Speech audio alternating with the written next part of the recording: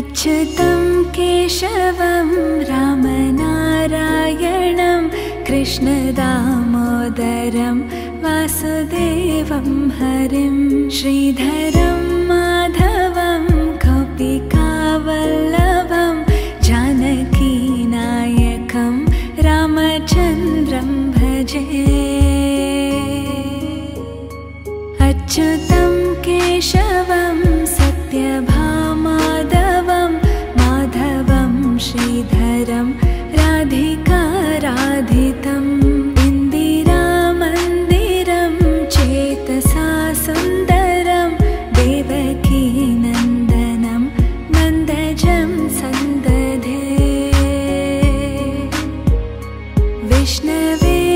जिष्णवे शङ्किने चक्रिणे रुक्मिणी रागिणे जानकी जानये। वल्लभी वल्लभायार्चितायात्मने कंसवेध्वंसिने वंशिने ते नमः। कृष्ण गोविन्द हे रामनारायण श्रीपते